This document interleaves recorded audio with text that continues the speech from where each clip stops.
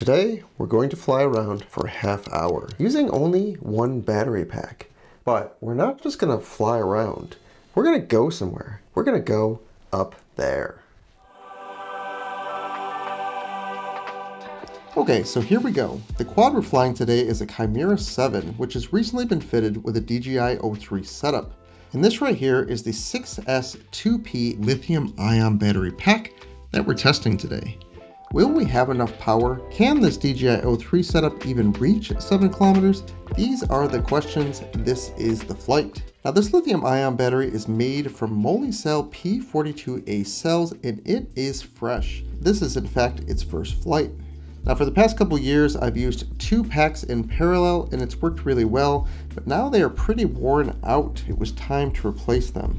Now these giant 6S 2P packs are quite large. In fact, this setup weighs about 850 grams, which yes, does make the quad feel pretty heavy, but being a 7 inch, it does cruise along quite nicely.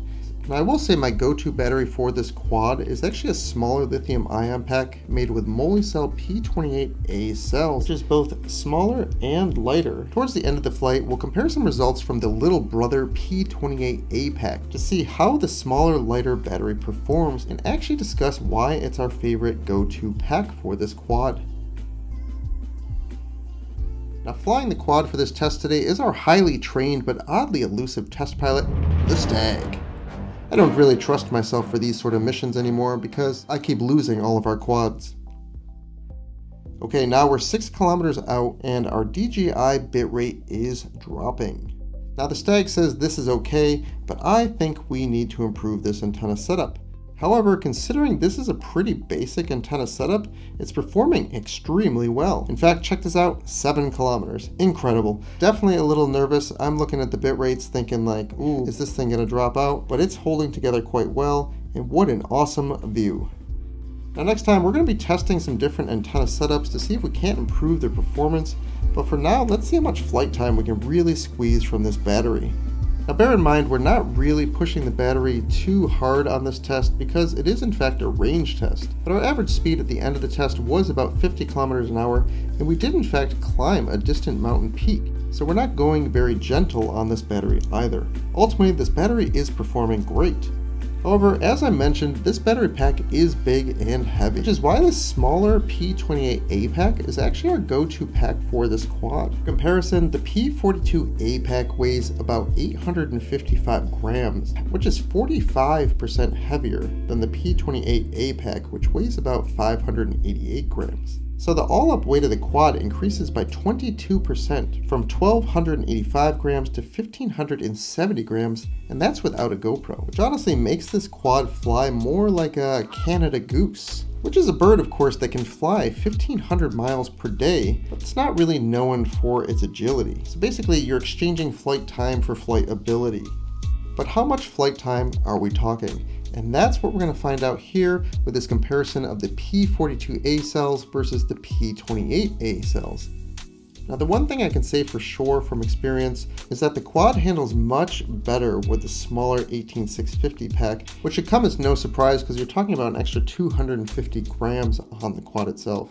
Now with both battery setups you still can do flips and rolls and dives and really basic freestyle, but this is a very heavy 7 inch quad so you're not going to be doing rapid movements for example, since these packs are so heavy, when you start to dive, the quad picks up a lot of speed. And when you're really, really close to things, that speed can be hard to control. However, when you're doing a really long dive, like from the top of a mountain peak, that extra weight is going to help you carry a bit more speed, which will be a little bit more interesting for the flight. In these clips here, I'm doing a full speed dive, but it's such a large landscape that it looks like it's in slow motion. Now, if you're curious about how I'm getting such good range, stay tuned because I'm doing a video about my antenna testing and setup soon. Now one really important thing to remember about these packs is the extra weight requires really good straps. If you start doing aggressive freestyle with a super heavy battery pack, that thing's going to have a lot of velocity and can break a strap pretty easily. So you want to be really careful and make sure that the battery is strapped down really well. Alright, so let's finish this test. How much flight time are we talking, and which pack do I recommend? Well, you can see that the larger 21700 pack has passed 30 minutes of flight time now, and you can see that the smaller 18650 pack is actually well above 20 minutes. I recommend making both of these battery packs because they both have different advantages. For example, I often like to fly the bigger pack to do my first scouting runs to check out a new spot, and then I go back and do my final shots with the lighter, more agile pack. Alright, so there we go. That's the end of the test. You can see that we got 31 minutes and 20 seconds from that 21700 pack. Now with the 18650 pack, we got over 24 minutes of flight time. Super impressive. And honestly, I wasn't even really flying that gently. I mean, we were at the top of a mountain. We were cruising all over the place. Really, really impressive results. Now, if you're curious about my DJI O3 antenna setups for my long-range testing, stay tuned for my next video and please subscribe. Till next time, see ya!